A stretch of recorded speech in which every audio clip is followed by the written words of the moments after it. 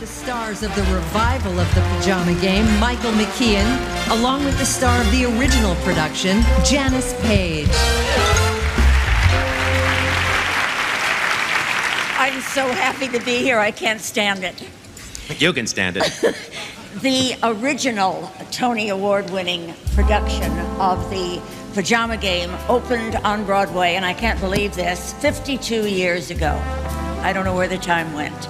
It was set in the Sleep Tight Pajama Factory. John Raitt played Sid, the new superintendent who falls in love with Babe, played by me. But their romance suffers a setback when uh, the workers demand a seven and a half cent hourly pay increase. Five decades later, Babe and Sid still fall for each other. The workers still want their money, and the heart of the show endures. In a performance from our third nominated musical revival, here are Tony nominees Harry Connick Jr., Kelli O'Hara, Megan Lawrence, and the cast of The Pajama Game. What a woman, I'll tell you. Sit down.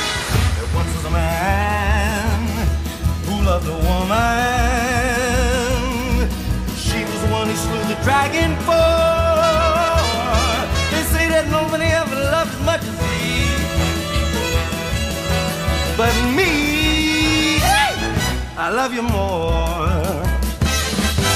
There was a woman who loved a man. He was the one that she took poison for. They say that nobody ever loved as much as she. Oh, but me, I love you more. My love's meteoric, it's merely historic. A whirlwind, cyclone whole solar plexus. It's bigger than Texas. I just can't tell you how it feels. No, there was a man. There was a woman who loved a man. She was one He was the the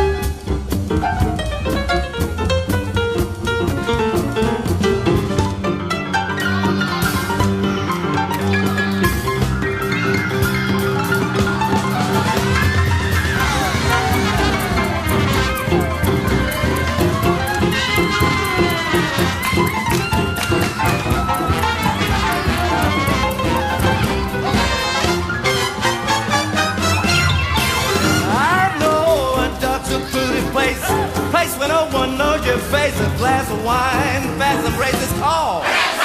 Oh, you see your silhouettes and all you hear are castanets. You never, never know how late it gets. Not at.